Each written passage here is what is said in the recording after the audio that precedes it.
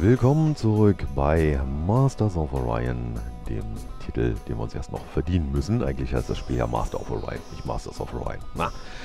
Ähm, ja, ihr hört schon im Hintergrund. Ähm, ich pack mal, lass mal im Hintergrund eine Playlist laufen mit äh, ja, Songs von TechnoX. Ähm, Kanal findet ihr natürlich in der Videobeschreibung als auch in meinen Kanalempfehlungen. Der Junge äh, macht viel Musik, macht gute Musik äh, mit einer relativ großen Bandbreite, so verschiedene Stilrichtungen. Ähm, und es ist alles rechtefrei, man kann sie also auch in monetarisierten YouTube-Videos verwenden. Man kann sich also dann auch direkt ein Formular dafür von seiner Webseite runterladen für jeden Song. No? Ne? Okay, zurück zum Spiel. Wir hatten ja in der letzten Folge wieder den Kontakt zu den Mirschans aufgenommen und da schauen wir mal in die Diplomatie, ob wir schon ähm, na will er nicht? Will er auch nicht? Was ist denn jetzt hier los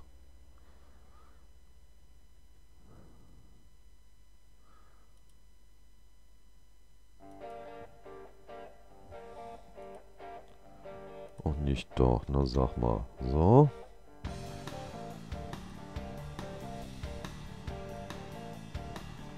Jawohl, jetzt funktioniert es wieder. Ähm, ja, ab in die Diplomatie. Jawohl, wir haben einen Spion inzwischen bei den Mirschans. Also, schauen wir mal, was die äh, ja, zu bieten haben. Die haben äh, Hyper-V-Raketen. Die sind nicht so gut wie unsere Hyper-X-Raketen. Ähm, das ist halt eine ähm, ja, Technik, die gar nicht in unserem Technologiebaum drin war. Das ist auch eine Besonderheit bei Master of Orion, dass der Technologiebaum ähm, ja nicht für jede Rasse vollständig ist, sondern dass da Lücken drin sind, ähm, dass es also in diesem Baum zwangsweise Technologien gibt, äh, die man gar nicht erforschen kann, sondern die man zum Beispiel tauschen muss. ja, mit anderen äh, Rassen. Ähm, erstmal wollen wir aber schauen, dass wir ein Handelsabkommen mit den Mirschans äh, schließen, damit wir da auch noch ein bisschen Geld verdienen. Ja, und mal so mitkriegen, ein bisschen, was die Mirschans wieder von uns halten. Hail, revered Emperor of the Humans, ist ja schon mal eine vielversprechende Begrüßung. Myanmar bears greetings from the most powerful Mirshans. So, dann schlagen wir mal einen Handelsvertrag vor. Oder haben wir ja eine reiche Palette. Gehen wir mal nicht ganz groß rein, sondern erstmal mit 125 äh, Credits. Jawohl, passt. Das hört sich doch gut an. Und ähm, damit die Katzen guter Laune bleiben, kleiner Tribut noch oben drauf no? Genuinely thanks for your generous tribute in difficult times. Das hört sich doch gut an. No, da werden die Beziehungen weiter ausgebaut. so, ich hoffe mal, das geht mit der Lautstärke der Hintergrundmusik. Ich mache es mir mal auf dem Kopfhörer ein bisschen leiser. Mal hören, wie es dann später in der Aufnahme ist. So, diplomatisch haben wir hier erstmal nichts weiter zu tun. Schauen wir auch nochmal bei der Technik vorbei. Ja, da werden wir bald die Ionenkanone entwickeln. Hier seht ihr, hier haben wir die Hyper-X-Raketen. Die sind äh, fortgeschrittener als die Hyper 5 oder Hyper-V-Raketen. Ähm,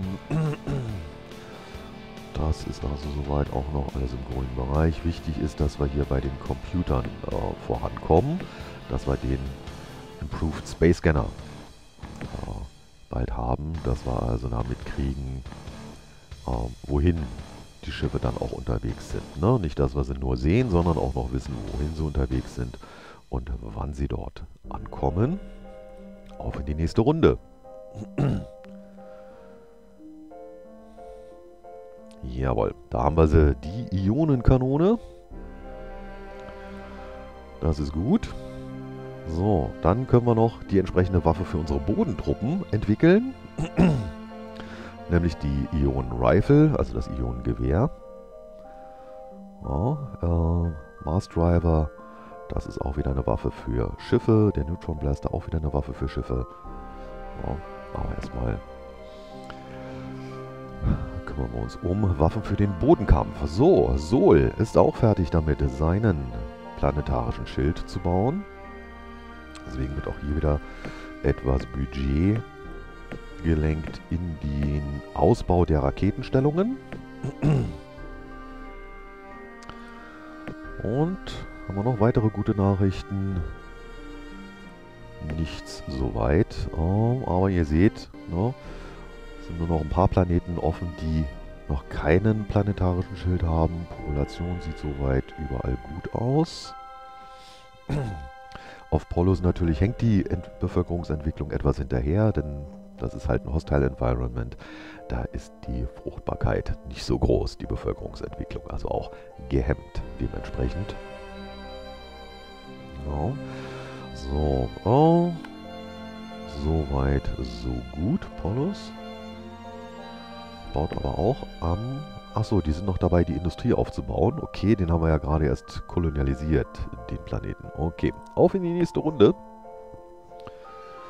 Zack, zack, zack. Na, bewegt sich was? Es bewegt sich. Ah ja, unser Scout hat ein neues System entdeckt, nämlich Reun. Ein, ein toter Planet, auch äh, hostile, also dieses Bevölkerungswachstum ist halbiert. Nicht unbedingt jetzt was zum Kolonialisieren. ja. Ähm. Und wir können mal reinschauen.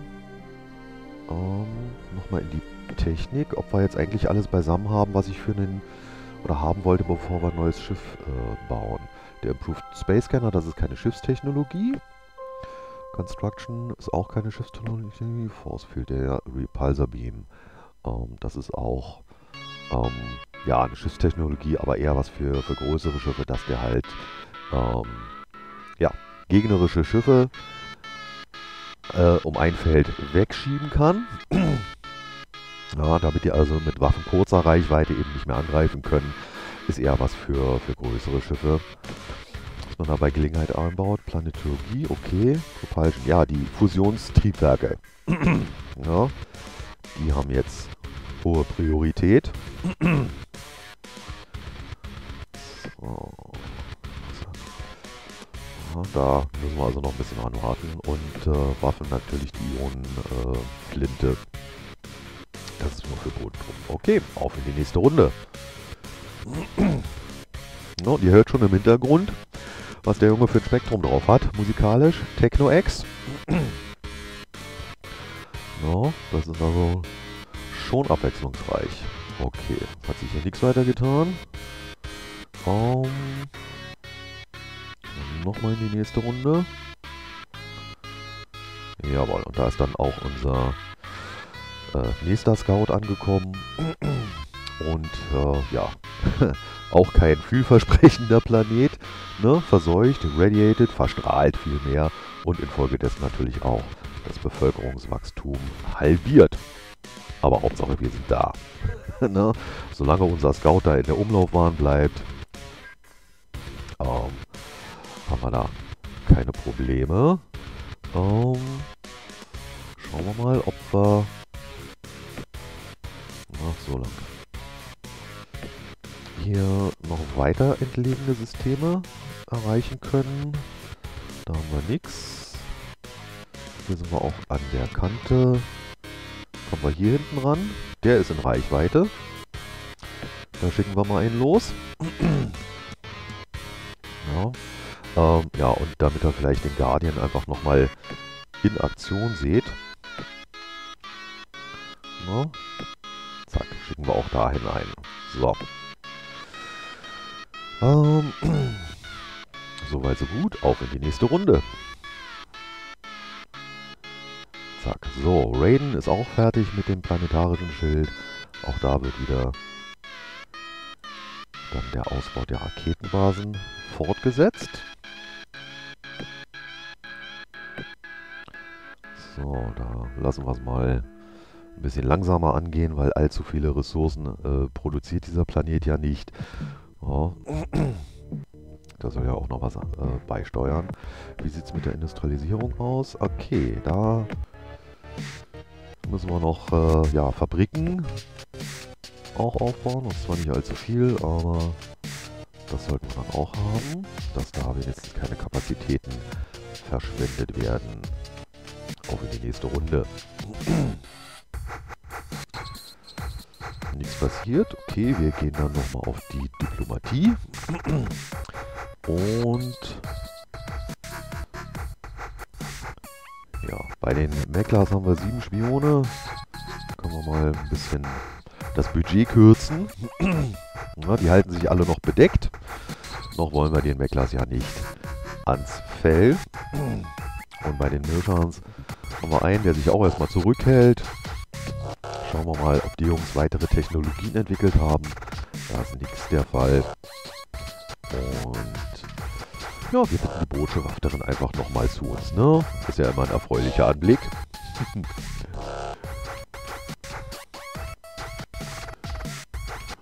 ich kann jetzt leider nicht so einfach umschalten, um in der Playlist weiterzuschalten. Und machen wir dann in der nächsten Folge. So, ähm, ja, wir wollen mal schauen, ob wir den Handel weiter ausbauen können. Jo, sehr schön. Und ähm, eine Allianz. So weit möchte ich dann doch noch nicht gehen. Der gegenseitige Nicht-Angriffspakt äh, reicht mir erstmal. Und ja, damit sie nicht umsonst gekommen ist, ne, gibt es nochmal ein kleines Handgeld. Wichtig ist hier die Geste. Ne? Soweit, so gut. Soll es dann für diese Folge auch erstmal wieder gewesen sein. Ich speichere wieder den Spielstand ab. Zack. So, hier hin. Okay, 22. Und ab dafür. Okay. Gut, das war's für dieses Mal. Ich hoffe, ihr seid auch beim nächsten Mal wieder dabei. Bis dahin, bleibt mir treu, bleibt mir gewogen. Empfehlt mich weiter. Adieu mit Ö.